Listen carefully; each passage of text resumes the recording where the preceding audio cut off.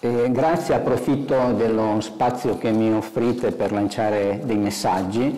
Eh, farò riferimento alla situazione generata dal coronavirus sia sugli eventi accaduti sia su ciò che sta accadendo e su ciò che accadrà. Su quello che è accaduto vorrei eh, ricordare che ehm, per quanto riguarda la casa di riposo di cui sono Presidente Ormai da 40 giorni abbiamo assunto delle iniziative di contenimento, dal 24 di febbraio abbiamo limitato le visite agli esterni e poi dal 4 di marzo abbiamo chiuso completamente gli ingressi. Per cui il mio primo appello è doveroso ed è rivolto ai parenti dei degenti perché non possiamo far altro che immaginare la loro grande sofferenza anche alla luce delle notizie che ci arrivano da molte case di riposo. Io li voglio rassicurare che il personale, oltre a provvedere alla normale assistenza, si preoccupa di trasmettere ai degenti quel carico di umanità che è venuto loro a mancare allontanando i parenti e gli amici e quindi esasperando la loro solitudine. Sappiano che per gli operatori della casa di riposo lì non ci sono delle persone vecchie da assistere, ma ci sono delle persone care. Il secondo appello invece lo voglio fare in riferimento a ciò che sta accadendo ed è quello di porgere la massima attenzione alle case di riposo che sono delle vere bombe a orologeria. Eh, siamo stati travolti da uno tsunami, si dice, no? del coronavirus, ed è vero, e si sono concentrate tutte le forze su quella che è la prima linea, cioè sugli ospedali, che hanno dovuto far fronte a una richiesta improvvisa ed enorme. E questo ha comportato che tutto il personale disponibile, quindi il personale che stava nelle graduatorie o i nuovi assunti da concorsi aperti rapidamente, sono stati dirottati negli ospedali, il che va molto bene, ma questo ha depauperato le case di riposo che già eh, avevano dei problemi anche in tempi ordinari.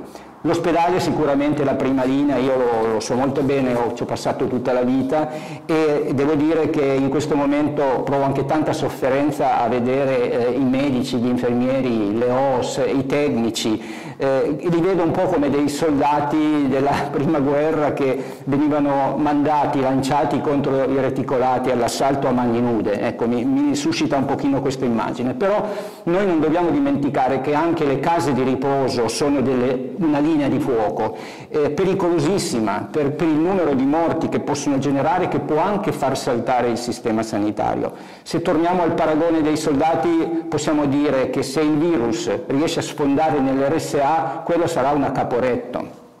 Ogni giorno ci giungono notizie drammatiche su questa strage silenziosa, perché quella delle case di riposo è una strage silenziosa, si dà quasi per scontato che certi eventi lì possono accadere. Ricordiamo che a rischio ci sono mezzo milione di, di anziani nelle case di riposo, 30.000 soltanto nel Piemonte e sono i più fragili, sono quelli non autosufficienti e sono quelli che quindi noi dovremmo proteggere per primi, primi di tutti. Eh, anche in, in, residenze a noi vicine ehm, si verificano questi episodi, non so, a Villanova di Mondovia, Busca, Garessio, Dronero, Brusasco, cioè, eh, e anche più vicini, quindi è una realtà che, che ci tocca molto. Il terzo ed ultimo appello invece lo voglio rivolgere in generale alla popolazione. Si sente dire che dopo il mondo non sarà più come prima. Io non sono tanto d'accordo perché non ho tutta questa fiducia sul genere umano che sia in grado di riflettere su quello che è accaduto una volta che questo sarà passato. Però alcune cose dovranno cambiare sicuramente. Se vogliamo tornare a ciò di cui stiamo parlando, cioè alle case di riposo per gli anziani, sicuramente bisognerà rivedere qualcosa. Eh, per esempio, ehm, bisognerà pensare che queste appartengono al corpo sociale, cioè appartengono alla realtà in cui esse sono inserite, appartengono a tutti noi, non sono dei luoghi dove noi possiamo destinare i nostri anziani, e non dico dimenticarcene, ma considerarli un po' come una cosa a parte, inevitabile. No, loro pur stando nelle case di riposo fanno parte della società. E questo si deve però poi trasformare in qualcosa di reale per parlare di qualcosa di reale faccio degli esempi. Eh, noi ora parliamo di straordinarietà di interventi, abbiamo bisogno dei dispositivi di protezione, abbiamo bisogno delle misure di contenimento, abbiamo bisogno di nuove organizzazioni. È bene ricordare che queste cose dureranno a lungo per tutti, ma per gli anziani molto di più, perché quando tutto sarà finito, per gli anziani probabilmente continueranno ancora, perché abbiamo scoperto ulteriormente qual è la loro fragilità. E forse non è detto che queste misure non si debbano adottare per sempre, queste modalità di avvicinamento alle persone fragili, o perlomeno fino a quando non si scoprirà un vaccino efficace ma anche su questo siamo ancora lontani. I vaccini certamente c'è molto studio, ma sono ancora nella fase 1. Fase 1 significa quando si sta valutando di un prodotto farmaceutico la non nocività, quindi non siamo ancora a valutare la sua efficacia. È, ancora lontano questo, questo traguardo. E allora questi aiuti di cui noi abbiamo bisogno, non, sì, sono straordinari, ma, ma, purtroppo non sono a breve, sarà una cosa che si verificherà ancora per molto tempo.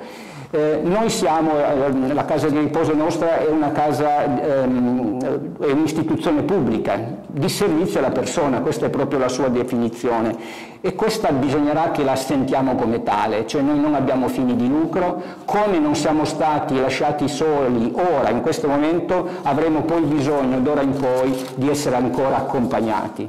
E infine vorrei spendere due parole su, su un fatto ehm, che riguarda strettamente la nostra realtà, quando è iniziato tutto questo noi ci siamo trovati in grande difficoltà per reperire tutti i dispositivi, anche in, in difficoltà finanziarie, che per la verità già avevamo anche prima, ma qui sono state esaltate. Eh, per superare questo problema io ho rivolto un appello alla popolazione e devo dire che sono stato immediatamente contattato da eh, titolari di aziende del territorio, da presidenti di associazioni eh, che, di, di, volontariato che sono un vero patrimonio della nostra realtà sociale, da cittadini privati e eh, tutti hanno contribuito in qualche maniera, stanno contribuendo in qualche maniera eh, per aiutarci. Quindi io approfitto di questo per ringraziare tutte queste persone e concludo dicendo loro che i soldi che raccoglieremo saranno impiegati per proteggere gli anziani e per proteggere i dipendenti, perché se si ammalano i dipendenti gli anziani non sono più, sono, sono in balia dell'ignoto e non solo, ma se si ammalano i dipendenti diventano essi stessi dei potenziali eh, individui infettanti, quindi questi soldi saranno spesi per questo motivo. Io vi ringrazio molto e vi saluto.